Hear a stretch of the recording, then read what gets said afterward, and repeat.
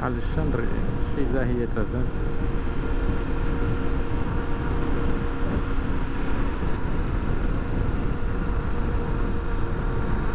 Aqui é mais um vídeo de rotina. Nosso dia a dia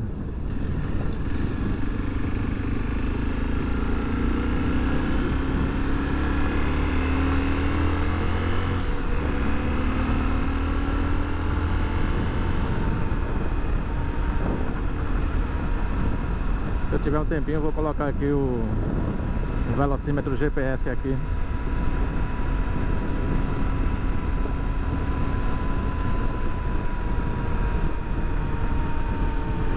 Muita gente que pergunta como é que se coloca esse, esse velocímetro GPS Aí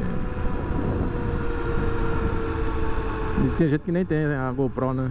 Essa Hero 5 essa funcionalidade é da, da GoPro Hero 5 pra cima. Tem a Hero 5, a Hero 6 E tá vindo aí a Hero 7 a Câmera de ação da GoPro. Eu acho que a Hero 4 era possível fazer isso com um adaptador. Tinha um adaptador que era no GPS que tinha por fora, sei lá Isso aqui você... É difícil fazer na Hero 4 Mas eu acho que é possível na Hero 4 também.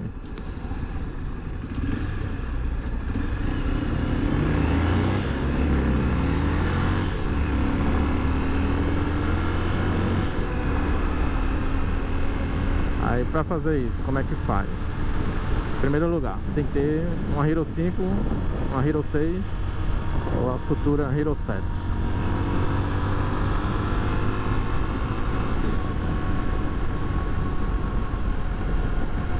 Segundo passo. Ativar Você vai no, nas preferências Você liga a câmera, né? Aí entra no menu Vai nas, no menu preferências Que é 40 E Você tem que ativar o GPS Porque Você tem a opção também de desativar o GPS, né? Para economizar a bateria com o GPS ativado o consumo de bateria é maior.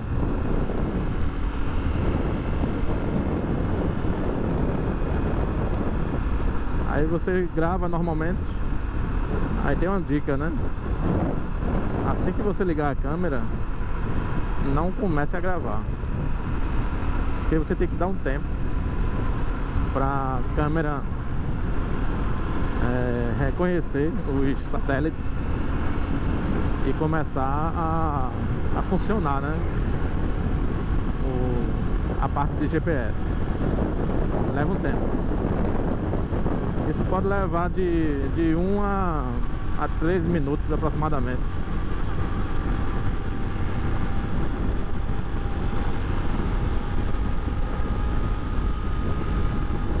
Hora do almoço a galera tá apressada, né? Todo mundo com fome. 12 e 38 Ó.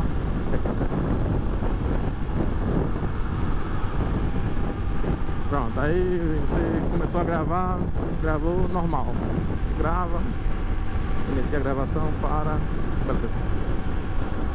Aí quando você for carregar os arquivos no computador Você não pode carregar no HD externo senão dá erro.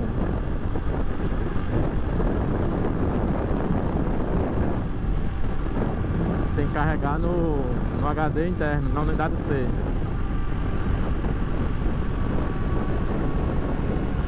Aí para carregar você tem que usar o aplicativo da GoPro, o Quick. Aplicativo Quick da GoPro.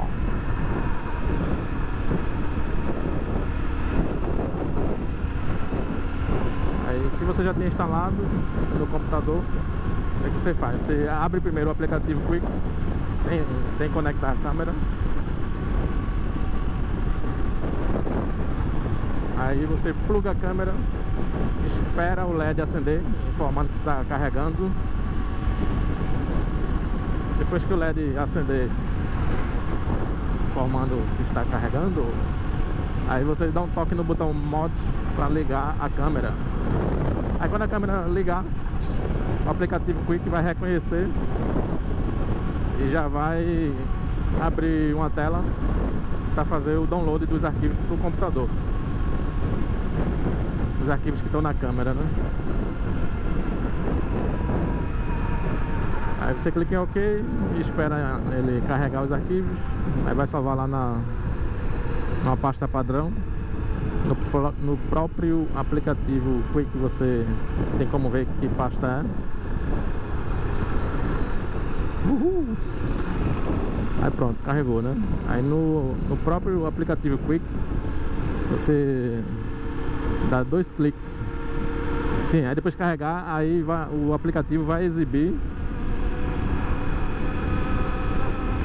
vai exibir a lista de, de mídia, né? As, as mídias disponíveis.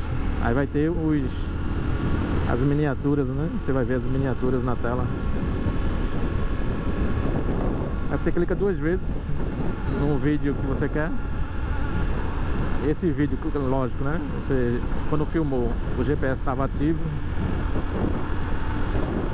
Se você tentar colocar esses medidores num vídeo que não foi usado GPS, dá erro e o aplicativo ele vai travar. Bom, aí você abriu o vídeo que foi gravado com o GPS.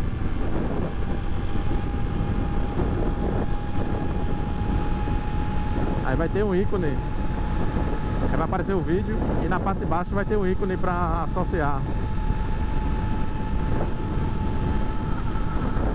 Para associar o, os medidores, né? E tem um símbolo parecido com o medidor. Aí você clica lá, aí vai aparecer uma lista de, de opções que é que você quer que apareça na tela. Porque vai ter o medidor do velocímetro, né? Vai ter também um, como se fosse um mapa GPS e o caminho que você andou. Vai ter o medidor de força G, aceleração, né? Vai ter também data, hora, vai ter também o símbolo da GoPro, é uma marca d'água. Aí você escolhe o que quer colocar, aí você vai marcando lá.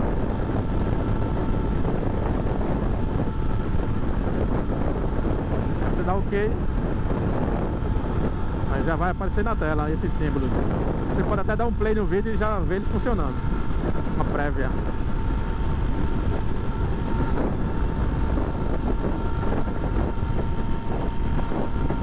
Aí, pra salvar esse vídeo, você tem que salvar um corte no vídeo. Aí tem um símbolo lá de uma tesoura. Aí você clica nele.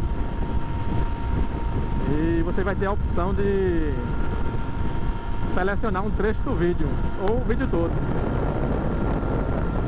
Se você quiser o vídeo todo, você marca, deixa as extremidades do, dos marcadores no, no, no extremo ou então você recua até onde quer, para cortar o começo ou cortar o fim do vídeo.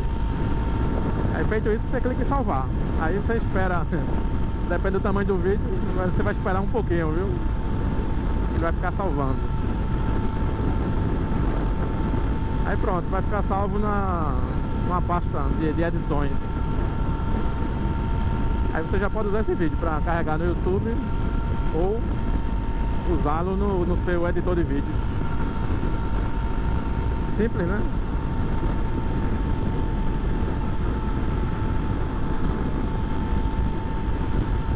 O chato é que se você edita vídeo, você vai editar duas vezes, né? Uma edição é essa, para colocar os instrumentos E outra as edições normais, você faz corte, coloca texto, etc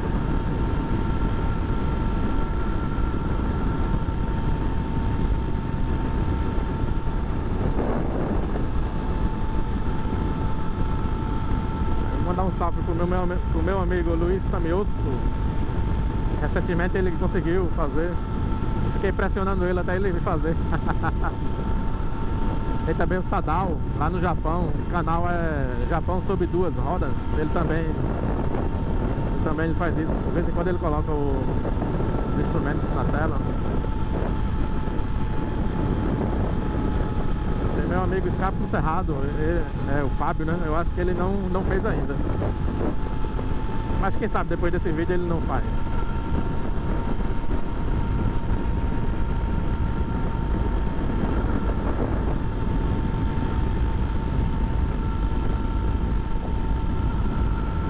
É uma funcionalidade legal.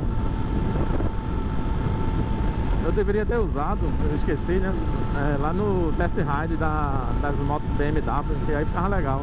Você vê o, a velocidade real. Até porque a velocidade real, que é marcada no GPS, tá diferente do, do painel. O painel sempre marca mais. Acho que já tem 10 minutinhos. É isso aí. Obrigado por assistir o vídeo. Valeu!